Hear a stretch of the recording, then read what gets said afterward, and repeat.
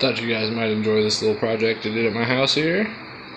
It's a pretty simple little thing just to uh, fill my Berkey water filter here and also get a pot filler for the stove.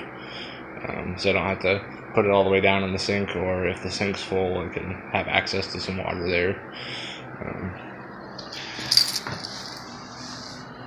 popped it out through the cabinet there uh, underneath the sink. My house is kind of a mess right now, you have to excuse me, but uh, underneath the sink there, there's a T on the half inch cold, and uh, just went straight over into the cabinet with that and elbowed up a little bit. And popped it out over there with an escutcheon, looking pretty smart.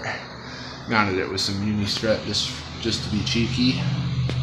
And uh, yeah, I'm pretty pleased with how it turned out. It's, uh, um, you don't think about it, but um, faucet's pretty slow and having to use that jug before to fill it um, took two two jugfuls and it took you know a minute each to fill them or something like that. So it's a pretty big time saver over the uh, in the grand scheme of things. So um, to be able to just pop the lid off and crack that valve for that fills the whole thing in five seconds or something like that. So um, yeah, I like it. Maybe you do too